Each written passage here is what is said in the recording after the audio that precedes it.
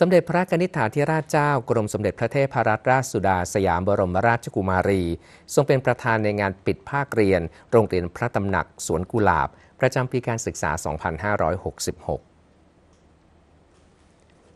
วันนี้เวลา 14 นาฬิกา 10 นาที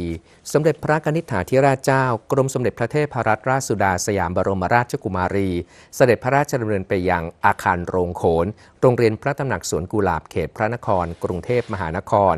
ทรงเป็นประธานในงานปิดภาคเรียน โรงเรียนพระตำหนักสวนกุหลาบ ประจำปีการศึกษา 2566 มีสถานศึกษาในพระราชานุเคราะห์เข้าร่วมงานจำนวน 8 แห่ง ได้แก่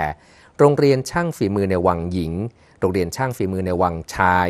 การจนาพิเศษวิทยาลัยช่างทองหลวง ศูนย์การศึกษานอกโรงเรียนการจนาพิเศษวิทยาลัยในวัง โรงเรียนการจนาพิเศษวิทยาลัยนครปฐม พระตำหนักสวนกุหลาบมัธยม โรงเรียนพระตำหนักสวนกุหลาบมหามงคล โรงเรียนพระดาบท และโรงเรียนพระดาบทจังหวัดชายแดนภาคใต้ในการนี้พระราชทานทุนการศึกษา ประกาศนียบัตรและวุฒิบัตรจำนวน 291 คน โรงเรียนพระตำหนักสวนกุหลาบ จัดการเรียนการสอนมาแล้วกว่า 40 ปี โดยเริ่มตั้งแต่ระดับชั้นอนุบาลปีที่ 1 ถึงระดับชั้นมัธยมศึกษาปีที่ 3 ปัจจุบันมีนักเรียนจำนวน 765 คน โรงเรียนส่งเสริมให้นักเรียนเข้าร่วมการแข่งขันความสามารถทางวิชาการประเภทต่างๆ ส่งผลให้รับรางวัลมากมาย เช่น กิจกรรมการแข่งขันศิลปะหัตถกรรมนักเรียนครั้งที่ 71 ได้รับรางวัลชนะเลิศเหรียญทอง 6 รายการเป็นต้น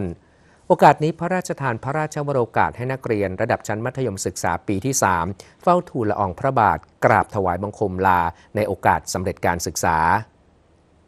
จากนั้นทอดพระเนตรการบรรเลง วงอังกะลุงเพลงชวา ของนักเรียนศูนย์ทดลองเด็กหูหนวกปฐมวัย และการแสดงโขนเรื่องรามเกียรติ์ตอนพระรามตามกวางของนักเรียนชั้นปฐมวัย